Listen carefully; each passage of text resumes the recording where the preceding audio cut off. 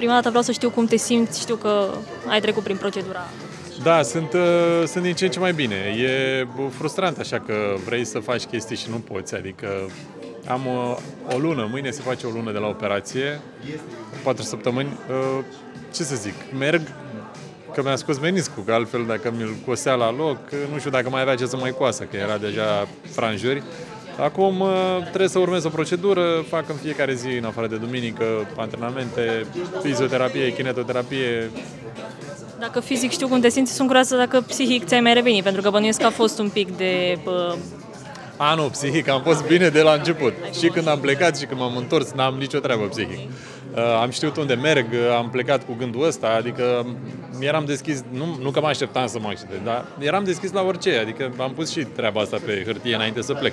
Dar uh, nu, psihic n-am avut nicio treabă. Nu. Dar n-ai simțit așa ca, nu, ca o nedreptate, adică de ce se întâmple iar? Nu, am simțit-o ca pe o eliberare, plec acasă, gata.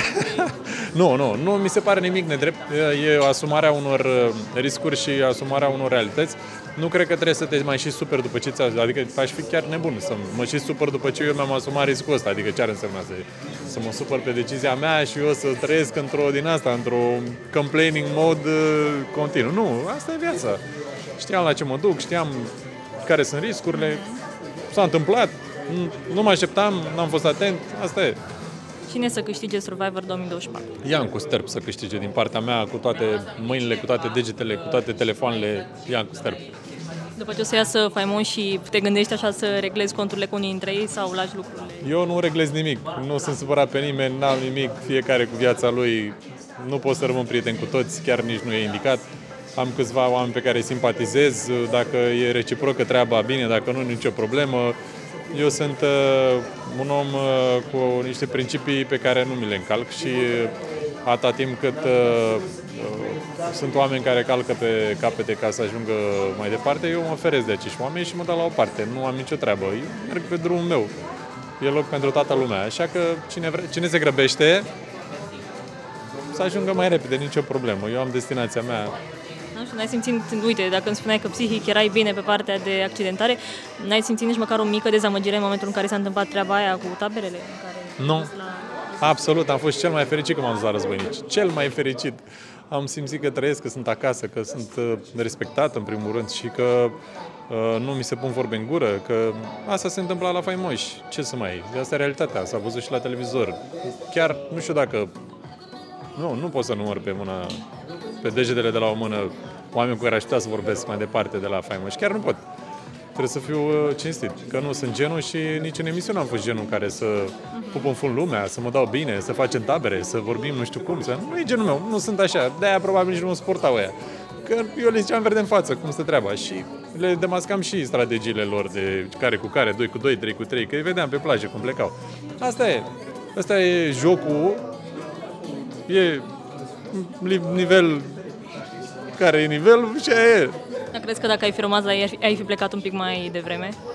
Nu, n-aș fi plecat mai devreme, dar n-ai bine aș fi plecat. Okay. Nu știi niciodată când pleci, când pleci, știi? Adică e, poți, te poți trezi, uite cum s-a întâmplat la mine să te accidentezi și m-am accidentat, am plecat și așa, nici nu și atunci tot am stat două săptămâni în plus față de după accidentare. Adică nu știi niciodată, că nu decizi tu, nu pleci tu când vrei tu. Asta e faza. Alții care au plecat când au vrut, ei au plecat acasă, au fost trimiși acasă, după cum ați văzut. Adică nu poți să faci ce vrei tu acolo. Ai un contract, ești sub un, într-un concurs, ai acceptat, adică nu poți să vii după aia să începi cu talente și figuri. Asta e. Zim trei nume de la Faimoși uh, cu care ai rămas în relații bune, dacă sunt.